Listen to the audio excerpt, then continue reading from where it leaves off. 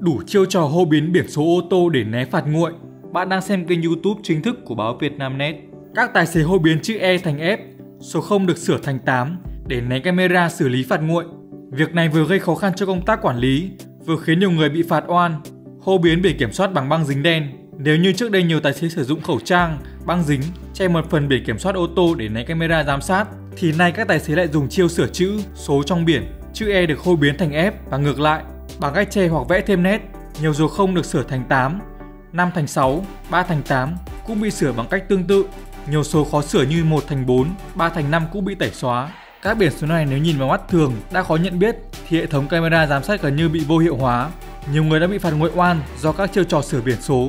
Anh Giang Huy, Hoàn Kiếm, Hà Nội cho biết vào cuối tháng 5 vừa qua, anh Huy bất ngờ khi nhận được giấy thông báo phạt nguội. Càng bất ngờ hơn khi địa điểm phạt nguội là trên tuyến cao tốc Nội Bài Lào Cai. Sau khi nhận được giấy thông báo phạt nguội, tôi đã lên cơ quan công an để xem hình ảnh. Bất ngờ tôi thấy một biển kiểm soát ô tô trùng với biển kiểm soát của mình nhưng khác nhãn hiệu xe tôi đang đi. Khi cán bộ công an phóng to ảnh lên thì phát hiện họ đã sửa số 3 thành 8 cho biển kiểm soát, anh Huy kể lại.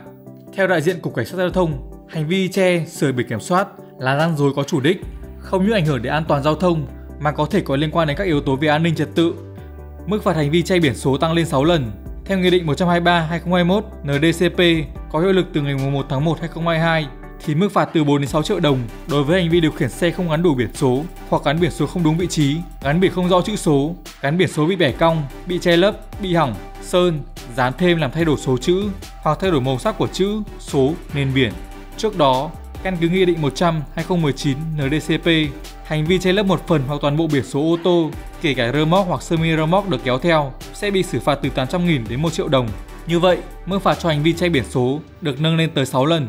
Đại diện Cục Cảnh sát Giao thông cho biết, trước đây không quy định rõ và mức xử phạt thấp, dẫn đến việc một số chủ phương tiện đối phó bằng cách che dán biển số làm sai lệch, thậm chí thay đổi biển số khác, trùng với biển số của phương tiện khác, làm cho việc xác minh, xử lý gặp khó. Đặc biệt, việc xử lý qua hệ thống camera giám sát gặp khó khăn để phát huy hiệu quả của hệ thống giám sát và nâng cao ý thức của người dân. Thời gian tới, lực lượng cảnh sát giao thông sẽ tăng cường xử lý hành vi che biển số. Việc phát hiện, xử lý hành vi này được thực hiện thông qua việc tuần tra, kiểm soát trên đường và cả có kênh phản ánh từ người dân.